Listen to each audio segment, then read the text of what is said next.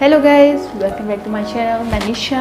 आज की वीडियो में मैं आपको तीन बेबी फ़ूड के बारे में बताऊँ पहला है हमारा बेबी सेरलिक्स दूसरे में मैं आपको बताऊँगी ओट्स का पाउडर कैसे बनाते हैं। थर्ड मैं आपको बताऊँगी कि दलिए का पाउडर कैसे बनाना है। चलो ये स्टार्ट करते अपनी वीडियो सेरलिक्स में चाहे तो वो अपनी मर्ज़ी के कितने भी ड्राई फ्रूट्स ऐड कर सकते हैं। लेकिन मैं यहाँ पर सिर्फ़ एक ही ड्राई फ्रूट लूँगी, वो भी बादाम। धीमी आँच पे हम इसको रोस्ट करेंगे पैन में। हमें इसको जलाना नहीं है। बस इसको हल्के से ब्राउन करना है, बस। हाँ राइस में मैं ले रही हूँ, ब्राउन राइस। आप चाहे तो वाइट राइस का भी यूज़ कर सकते हैं, लेकिन मैं ब्राउन राइस लूँगी, जो कि हेल्दी होते हैं। और ये हमारे रोस्ट हो गए। अब इनको निकाल देते हैं हम।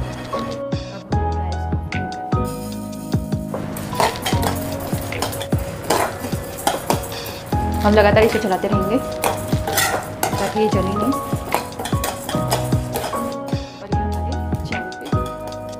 अब इसमें जो तीसरी चीज़ है, वो हम ऐड करेंगे चने की दाल। ध्यान रखिएगा, हमें कोई भी चीज़ जलानी नहीं है, बस इनको ब्राउन हल्का ब्राउन हमारी दाल भी रोस्ट होगी। अभी इसको निकाल लेते हैं इस बर्तन में साबुदाना मिलाएँगे हम इसमें। सिर्फ़ चार चीज़ों से ही हम सैलिक्स बनाएँगे, उससे ज़्यादा आइटम हम ऐड नहीं करने वाले। बस। मिड सेलिक्स इसलिए बनाते हैं, क्योंकि हमें मार्केट का सेलिक्स बिल्कुल पसंद नहीं है क्योंकि उसमें एडिड शुगर होती है, जो हम नहीं चाहते अभी बच्चे को दें तो इसलिए हम होम मेड सेलिक्स उसको देते हैं। अब देखिए हमारा साबुदाना रोस्टेड हो गया है, बस। अब इसको भी हम निकाल लेंगे प्लेट में। जो पहली डिश है, वो यहाँ पे कंप्लीट होती है। अब इसका हम पाउडर बना देंगे 첫눈에 반한다는 이야기가 널 보는 순간 이해가 됐어. 매번 야야야야야 불러 널 야야야야. 내 맘을 고백하려고 타이밍만 보는 나. 그런 나를 넌 보며 왜 그러냐고 묻네 너 때문에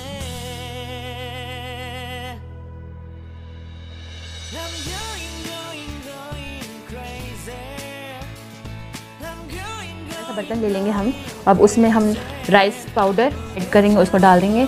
फिर हम साबुदाने का भी ऐड कर देंगे, साबुदाने का भी मिक्सचर और चने दाल का भी मिक्सचर इसमें ऐड करेंगे, तीनों को हम मिक्स कर लेंगे। याद रखिएगा, हम ड्राई फ्रूट के पाउडर को ऐड नहीं करेंगे। ये देखिए, मैंने ये अलग से ही रखा है, इसको अलग से डब्बे में डालेंगे एयर टाइट कंटेनर में इसके साथ चाहे तो इसमें दलिया का पाउडर भी ऐड कर सकते हैं ओट्स का पाउडर भी ऐड कर सकते हैं लेकिन मैं यहाँ चीज़ अलग अलग रखूँगी। जब मेरा मन करेगा तीनों चीज़ मिला के बनाने का तब मैं बना लूँगी डब्बे में ट्रांसफ़र करके रख देंगे। इसमें ये हमारा इसको बंद कर। हमारी सेकेंड डिश है वो है ओट्स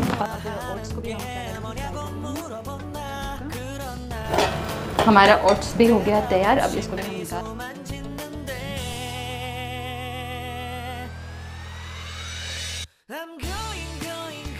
के पाउडर को भी एयर टाइट कंटेनर में ट्रांसफ़र कर देंगे।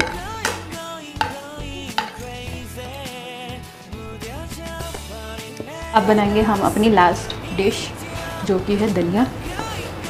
और आपको पता है दलिया लड्डू खुश होकर खाते हैं तो अब इस दलिया को भी हम इसको भी हम धीमी आँच और ये हमारा दलिया भी रोस्ट हो गया है। अब इसको भी हम निकाल देते हैं। और ये मेरे पास लड्डू आ गया जो कि मेरा माइक छीन रहा है। अब इसको भी निकाल लेते हैं हम। प्लेट में।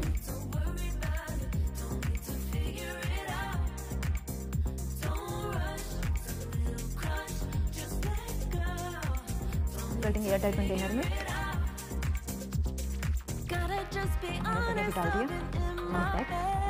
अगर आपको हमारी वीडियो पसंद आती है तो प्लीज़ लाइक ज़रूर कीजिए।